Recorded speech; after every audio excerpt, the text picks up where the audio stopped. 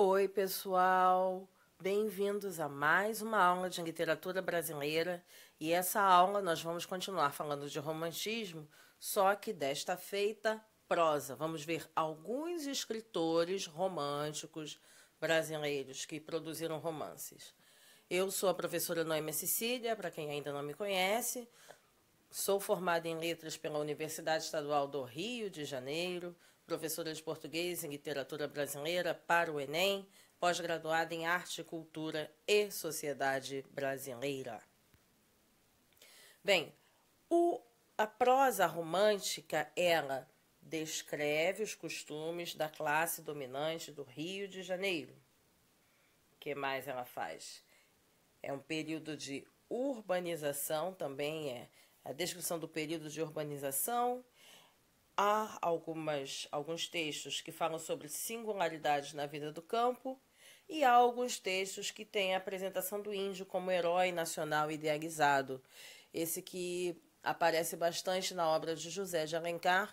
Tem uma aula em vídeo aí disponível falando só sobre a obra de José de Alencar, porque ele realmente merece uma parte, né? Porque não dá para colocar colocá-los com colocá-lo com os outros, digamos assim, porque só José de Alencar é uma aula inteira. Bem, então vamos falar de Joaquim Manuel de Macedo. Joaquim Manuel de Macedo, ele é importante porque ele escreveu o romance A Moreninha e inaugurou o romance romântico brasileiro. É, Considera-se a Moreninha de Joaquim Manuel de Macedo, publicada em 1844, o primeiro romance romântico brasileiro. É, os romances românticos, como a Moreninha, desenvolvem que, que se desenvolvem em um cenário urbano, é chamado de romance urbano. Existem, por que isso? Porque existem diversos tipos de romances românticos. Existe o romance indianista, o, o romance regionalista, o romance histórico. E a Moreninha ela entra aí nesse rol de romances urbanos. É, relata os costumes da elite carioca da, da década de 1840, as suas festas, as suas tradições. Viajar para um litoral era um costume das famílias da elite do Rio de Janeiro. No caso, a história da Moreninha ela se passa em Paquetá. Paquetá é uma ilha que tem aqui no Rio de Janeiro.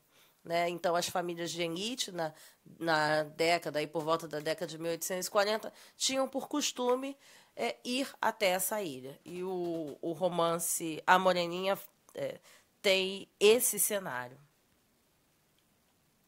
Manuel Antônio de Almeida. Manuel Antônio de Almeida escreveu Memórias de um Sargento de Milícias é muito interessante porque ele sai de um lugar comum do da mocinha, do herói. Nós vamos ter outros tipos de personagens em Memória do Sargento de Milícias. Nós temos personagens das classes mais baixas da sociedade, não são personagens idealizados, né? São, são personagens simples. São, a gente tem até, a gente pode, pode dizer assim, com certeza, que em Memória do Sargento de Milícias nós temos um anti-herói. Muito interessante, né?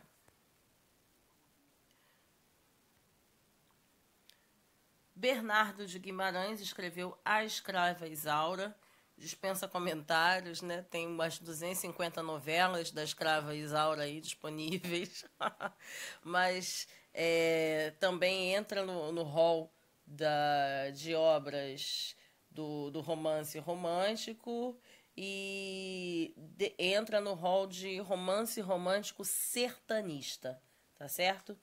A Escravizaura de Bernardo Guimarães. Finalmente, finalmente temos uma mulher. Maria Firmina dos Reis. Ela escreveu Úrsula em 1859, que é o primeiro romance brasileiro de temática abolicionista. Mas vale destacar que ela não usou seu próprio nome, né? Ela usa, usou um pseudônimo que é uma maranhense, o pseudônimo de Maria Firmina de Moraes. Então, seu romance ele é considerado inovador, pois pela primeira vez utiliza a prosa para denunciar uma sociedade patriarcal sob o aspecto de suas principais vítimas, a mulher e o negro.